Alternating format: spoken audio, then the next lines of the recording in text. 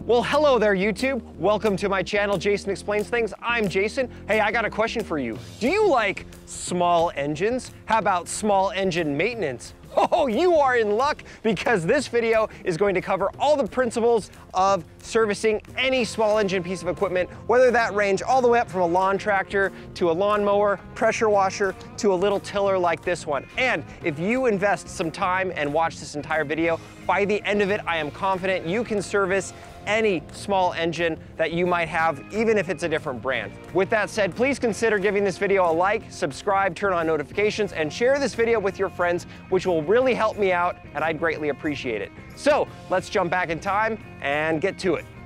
These are all four-stroke gasoline engines of varying different sizes. Three of them are Hondas, uh, the three up front here, um, and then we have a Briggs & Stratton in the, the uh, lawn tractor. Some steps are going to be universal, such as the oil that we're gonna be using, recommended fuel type, and fuel additives. I'll also cover specific steps in detail for each different engine, and that includes the oil change procedure, checking the air filter, checking the fuel filter, checking the spark plugs, and other things that range depending on the type of gear, such as blades or pumps or what have you. One optional step that I like to do before performing maintenance on practically anything is I like to have everything as clean as possible. This makes just doing the job easier and more pleasant. Also, you're less likely to get internal components dirty as you open things up. So that's highly recommended and also completely optional we're gonna be performing an oil change on all this equipment. And actually in this case, regardless of its size, they all have exactly the same oil requirements, which is 10W30 SAE compliant oil. The oil that we're gonna be using today is Havoline Lifelong Full Synthetic Oil. Now, this is gonna be a little bit of overkill because frankly, you could do just conventional oil if you want to, but we're gonna be going above and beyond, which I like to do. So now this stuff is awesome for a variety of reasons. First off, it has all of the modern protection and additives to prevent sludge and to protect all your engine internals. This packaging is also rad because it uses 70% less plastic than your traditional jug of oil because you have this external uh, cardboard box that you can easily recycle, and then you just have a plastic bag on the inside, which is really, really cool. Time to get to work on our equipment, but also later on, we're gonna talk about some fuel additives that are also really important, but we'll get to that a little later. Well, let's get started with these two guys. First off, I figured lawnmower is the most common thing that you're looking to, you know, do a service on. Um, and by the way, check the description for chapter markers if you want to jump around between subjects. You know, if you just want the, the riding mower, you can just jump right to it. Um, so these uh, two pieces of equipment actually share virtually the exact same engine. Now, this is a lawnmower manufactured by Honda. This is a pressure washer manufactured by Troy-Bilt but they both use GCV engines. Um, so this is a GCV 200 and this is a GCV 190. I've actually taken a GCV 190 completely apart and there's a video all about that if you wanna learn how to rebuild one of these. Um, they're very, very similar. They share a lot of parts, but not everything is the same. Let's start by removing the old oil on both of these. Most vertical shaft engines like these two use the same port to fill and drain oil. Ooh, that looks dirty. Some actually have drain plugs, like this Toro mower, for instance. One thing that I forgot to mention on these engines that require you to tip them on their side is you want to make sure your gas cap is nice and tight. And while the oil drains out of the lawnmower, I can show you another option if you want to be fancy pants about your oil changes, is you can use an oil extractor like this one. This is kind of a, a nice, easy way to do it too. Yeah, about 45 seconds later, all your oil is sucked out. With the mower on its side, now is an awesome time to check the blades. Yeah, so as you can see, these blades are in really good shape. I see a couple nicks, like one right there. And if you wanna see a really good video about how to sharpen lawnmower blades, I'll link to one below that I did a couple years ago. All right, time for some new oil. So both those engines have an oil capacity of 0.41 liters or about roughly 14 ounces. And we'll pour almost all 14 ounces in there, but we'll leave a little bit out put our dipstick in, and you don't want to screw it in, you just want to go like that. And I think we are good.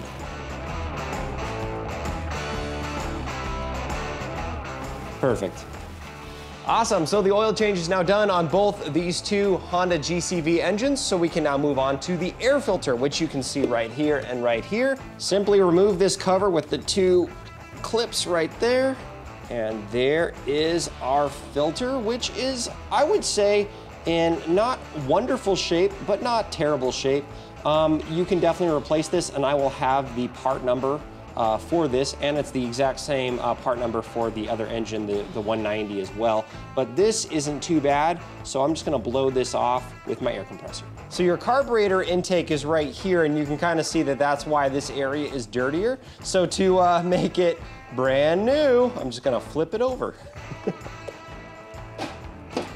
So one more filter we're gonna check here on the GCV engines, and this pertains to both of them, is the inline fuel filter. You just open up your gas cap, and I can actually see it with my eyes right now, but I can just take a look really closely here with my flashlight, and it's nice and clean and intact.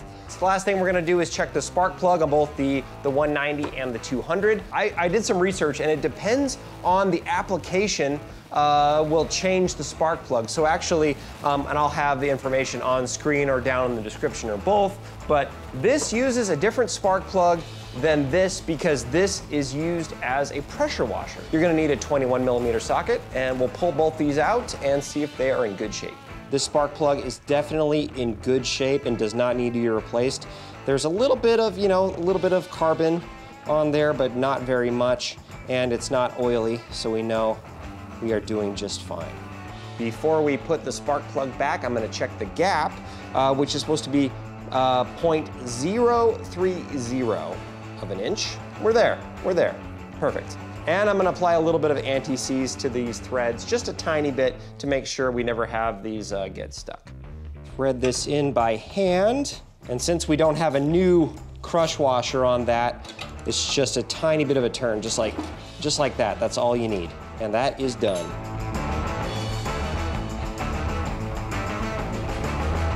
Okay, let's turn our attention to the big guy. So again, you might think that, oh man, I don't know how to work on a riding mower. That's different than a, than a push mower. Well, it's actually really not that different at all. So this is a Craftsman YT 3000, which is probably from the, you know, the early uh, 20 teens, like 2012, 2013 or so. Um, we have a uh, Briggs & Stratton 21 horsepower, 540cc engine. Uh, so this is gonna be a little bit different of an oil change, a little bit different of an air filter. Things are just in different places. And unlike all of the other engines that we're working on today, this one actually does have an, uh, an oil filter. Anyway, let's start with uh, draining the oil. This particular engine has a rubber hose attached to the drain port, making it very easy to drain the old oil. I'm a little embarrassed about that oil, to be honest with you. Sorry, sorry. I should definitely change this. I, I was doing it once a year. I need to do it twice a year. By the way, very similar engines to this one are used in lawn tractors from Craftsman, Husqvarna, John Deere, and Cub Cadet. Once all the oil is drained, remove the old oil filter. Here is our new oil filter, and that's the part number. So I'm gonna apply a little bit of oil that's oozing out of this uh, to our rubber gasket here on our filter, and then we just thread it on. You don't actually wanna use any tools to tighten this on. You just wanna do it by hand. So I'm gonna call that good right there. The oil capacity for this engine is 48 fluid ounces. Pour most of that in till you read some oil on the dipstick, then run the engine briefly to cycle oil into the filter. Then top off till the dipstick reads full. Oil change done. The air and fuel filters are really easy to check or replace on this engine. The air filter is located under this cover held on by two thumb screws and was very clean. The fuel filter is an inline universal filter that you can find at any auto parts or hardware store. Let's check the spark plug. It's located on the front of the engine behind the exhaust. Remove with a 16mm deep socket and be careful to not burn your fingers on the exhaust if it's hot. The spark plug was in good shape but a little oily, which could mean future engine issues are on the way.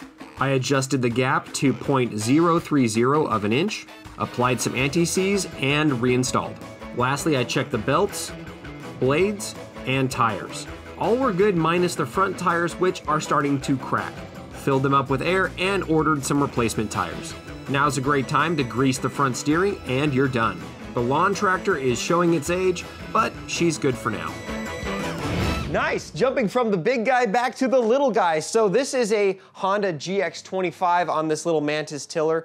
This exact engine is also used on kind of like uh, more heavy duty uh, string trimmers, a bunch of different applications. Um, an awesome little engine. And oh my gosh, I haven't uh, peeled off this, the shrink wrap on the logo, so I think we should do that on camera. Ooh. okay, cool. So I'm gonna go over all the same steps that we just did on all the other gear on this one as well. This one has a fuel filter. This one has doesn't have an oil filter. The only one that had that is the uh, is the riding mower. But here's your uh, dipstick and fill plug. We'll get to that in a second. Your air filter and carburetor is over here. The fuel the fuel filter is actually inside the gas tank and you have to kind of pull it out. I'll show you that.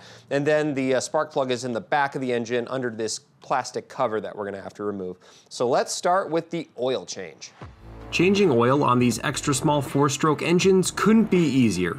To drain the old oil, simply lay the engine down as seen here. Remove the dipstick and pour it out into a tray.